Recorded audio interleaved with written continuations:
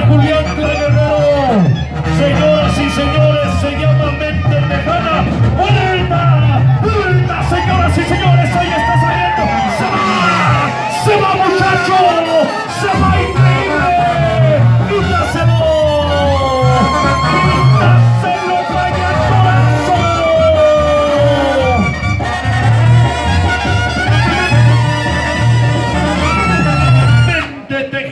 Se llama el toro y es destructor. ¿Dónde está el aplauso para este jinete? ¿Dónde está el aplauso para esta ganadería, mis amigos?